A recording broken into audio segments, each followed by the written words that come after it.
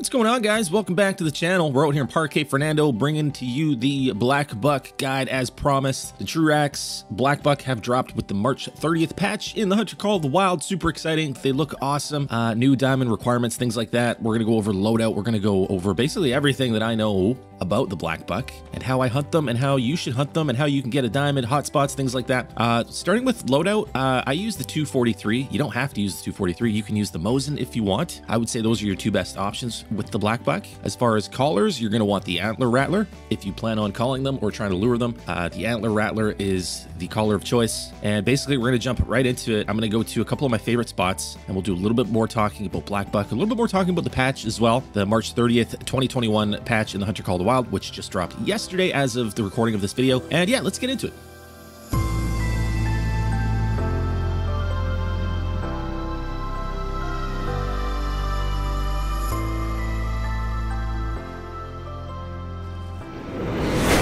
Hey, buddy. How you doing? Yeah? Nice. So, Ruben, though.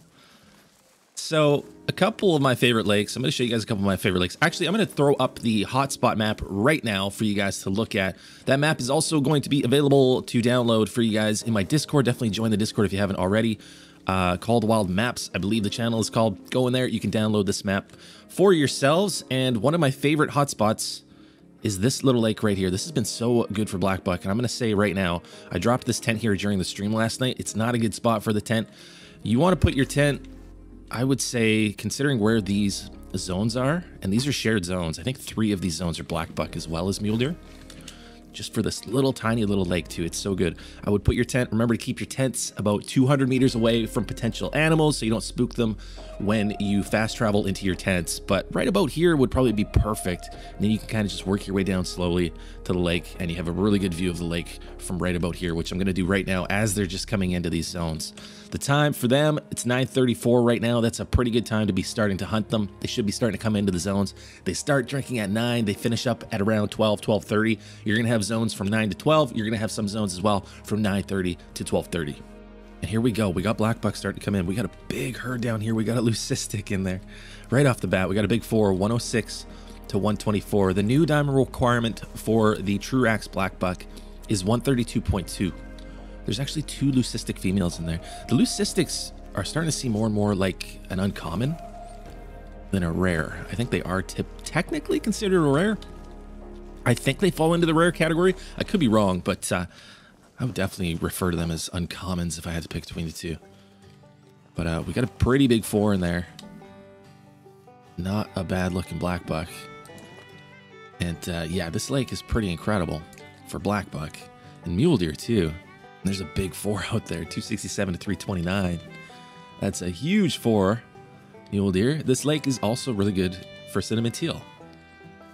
Case you're trying to hunt ducks, it's a good place to go. That is a really nice four. Now, I don't think the level four mule deer can make diamond. I can't remember the last time I saw one. And I've had some wild estimates. I've had estimates on level fours going up right up to like the 350s. And uh, they rarely score above 300. Oh, that puma spooked them. Where's that puma?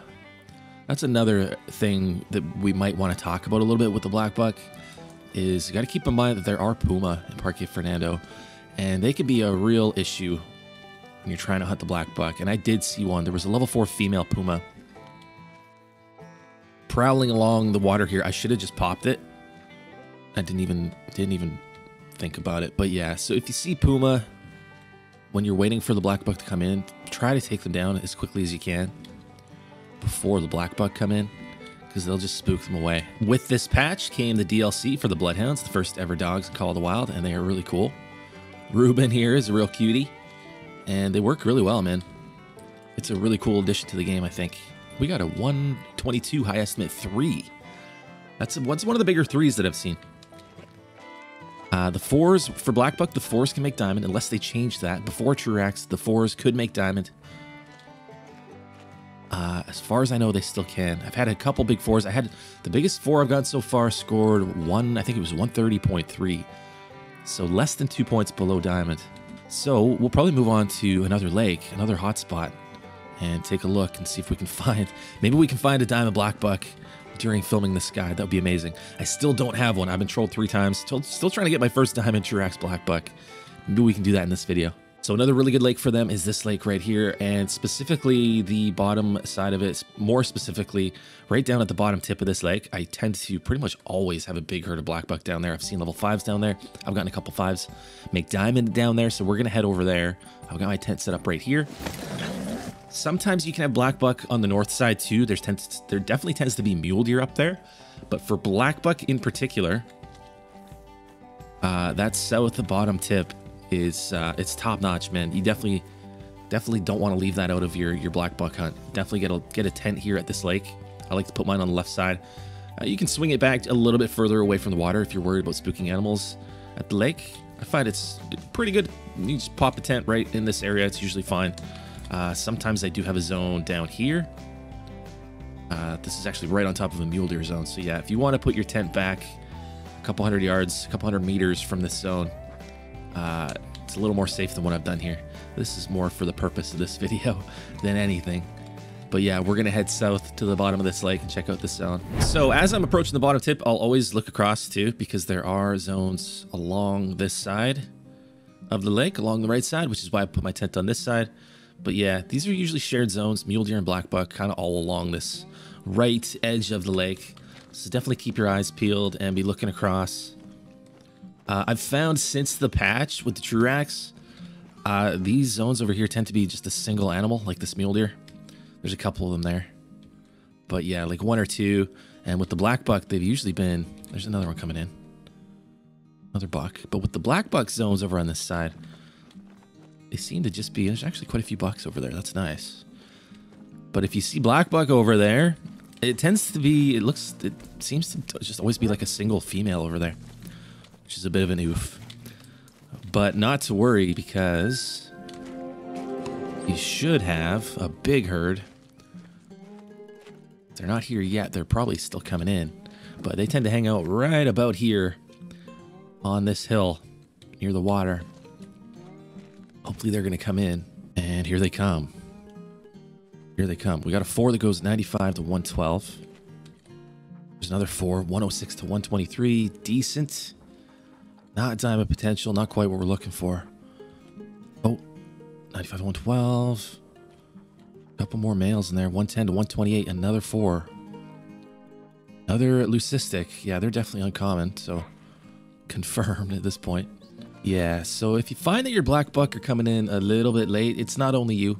1022. I mean, this is, it's a 9 o'clock zone. Uh, that is the mule deer zone, but yeah, I'm finding they're coming in. A lot of my 9 o'clock zones, they start coming in at like 10, 20, 10, 30.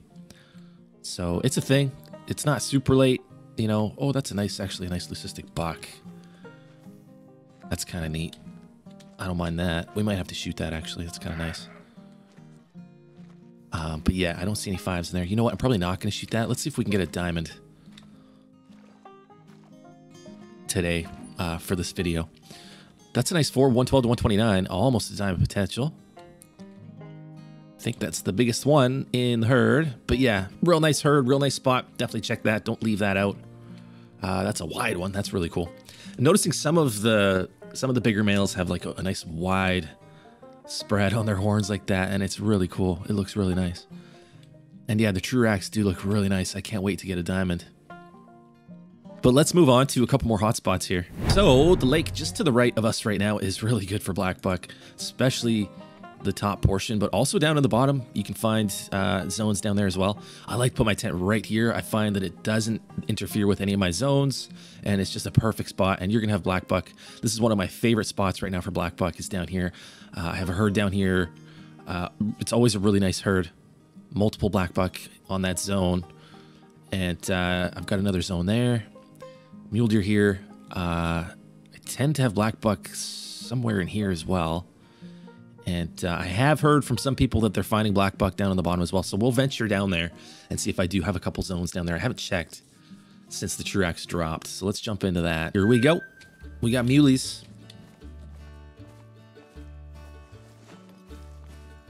We got muleys, but I don't see any black buck. I don't see any black buck. I've usually got black buck right down in here. Are they late? Did they get spooked maybe by a puma? Whatever the case, they're not there. And that is a black buck zone. I just switched it so that it says mule deer now, but it is a black buck zone. They might be late. They might be late. It is a 930 zone.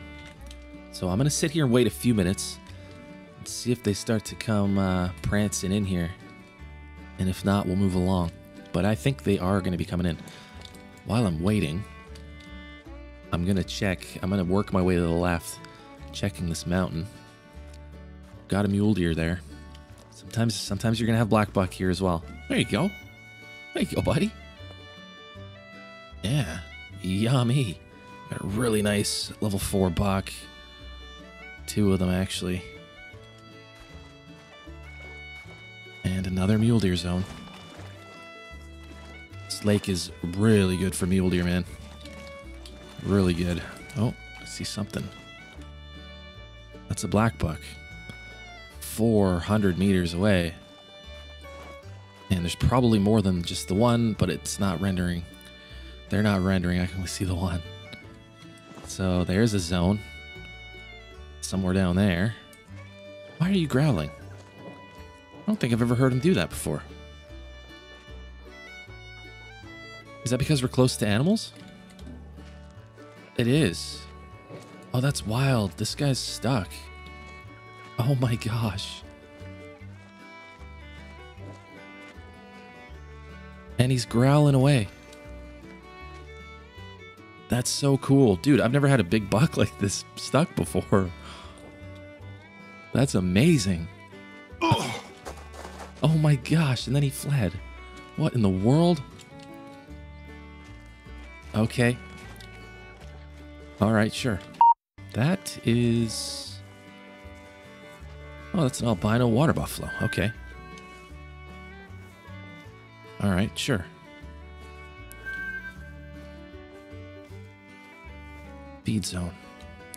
We got a couple female black buck at that zone. I think it's just the two females. Unless they're just not rendering. I think it's just them. But yeah, that's definitely an albino water buffalo. So we're going to drop that. Uh, 300 out. Hang on. We got to check the rest of this. There's a 7. Very hard stag. There's another muley zone. This lake is wild, man. Oh. And a black buck zone, too. Jeez. Just a single female, though. Those zones are such an oof. And it's a water buffalo zone as well. Jeez, that's crazy.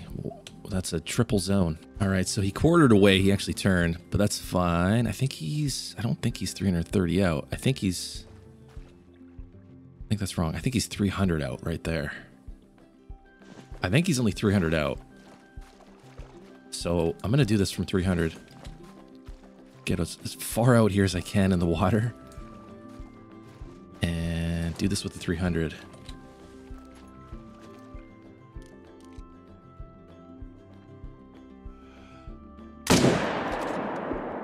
Let's see. I don't think we got the pen. He's going down though. And here he is. He didn't go far. We did get a vital there. I think single lung. And we got an albino water buffalo. Pretty sick. There we go. Three very easy. And we got the left lung. And he'll go into our Parque Fernando Lodge for sure. And let's move on. Let's do a couple more hotspots. See if we can get a diamond black buck in this video. That'd be amazing. So the next hotspot I want to look at is this lake right here. This is an awesome hotspot for both mule deer. I mean, it's a hotspot for mule deer, black buck, uh, axis deer, and red deer for sure.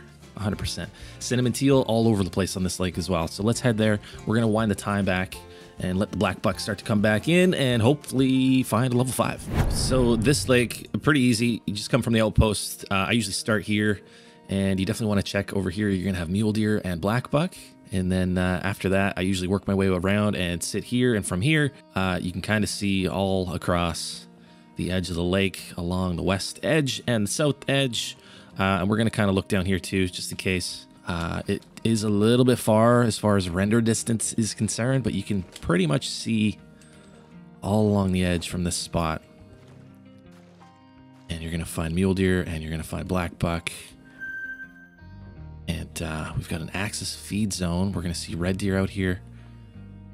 More black buck coming in. We got a four, 104 to 121. Axis deer. So we've got a big old combo of all these different species out here. Just a, it's just a full-on party, you know? And then to my left, we've got a couple muleys. And we do have a black buck over there. We've got a level three. Another muley buck. Uh, that's a piebald. That's a piebald buck and a nice one. My gosh. Okay, we're finding some rares here today. What in the world? What in the world is going on? Oh, because obviously we're going to shoot that. We got red deer resting out there too. Oh, that's a beautiful muley buck. Piebald, my gosh. Okay. Well, that's interesting. Just drop it with the M1 there. I think we got both lungs. And second rare of the day. Not black bucks, but Parque Fernando delivering on the rares. That's pretty cool. Ruben getting ahead of himself. Come on, buddy. What are you doing? You want to see a really cool piebald buck? Let's go, buddy. Let's go. And that is a really cool trophy. Oh my gosh. That's a big one. Not my favorite piebald variation for the mule deer, but I mean, it is what it is. That is a nice buck. It's a 177. Solid looking buck. Nice front forks there. That's so nice. I really want to check this lake. This is a really good lake. Uh, definitely a hot spot. The lake just north of it, I would say, is a hot spot too, but especially the, the small lake. Uh, I placed my tent just a little bit north and uh, if you work your way down to the lake from the north, you can kind of see the entire lake. I'll show you what I mean. So I'm just going to creep down. I'm not going to run. And I've got my tent backed off just enough that I'm not going to not going to spook anything. And I've got a black buck zone, two black buck zones down there. Here we go. We got a four there, 105 to 122 at that left side zone. Decent looking black buck. Um, we haven't shot any black buck yet, so I'm probably going to shoot that if we don't have something bigger at this lake. So we can take a look at it. It's a nice looking four. Probably, I would say maybe a 120. There's another one, a female. And we should have more black buck on the right side as well. At that zone. It's right down at the bottom of the lake. Let's do this. Let's Let's shoot it if we can. It's behind that tree.